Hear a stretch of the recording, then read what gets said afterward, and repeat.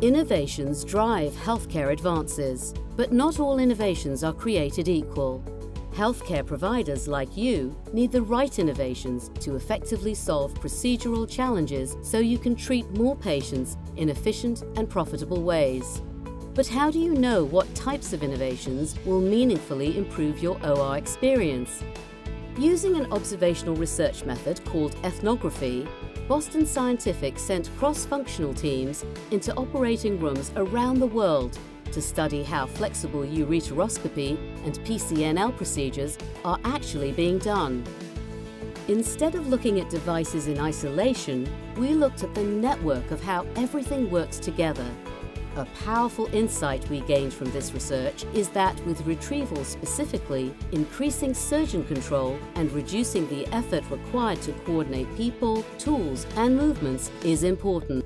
In this way, we identified roadblocks and problems we can solve and are developing solutions that will truly impact your practice. One product to come from these insights is the LithoVue Empower retrieval deployment device. Here's how it worked. Innovation in ureteral basketing has long been centered around the shape and flexibility of the basket.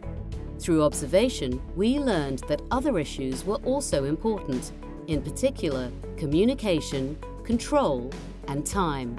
LithoVue Empower addresses each of these touchpoints to create a better OR experience the critical task of controlling the basket is now in the surgeon's hand, while seamlessly integrating our LithoVue ureteroscope and nitinol baskets.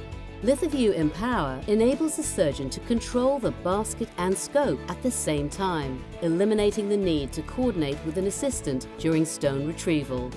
By turning a two-person task into a solo task, it eliminates the chance of miscommunication during stone basketing you can retrieve stones single-handedly without compromising time.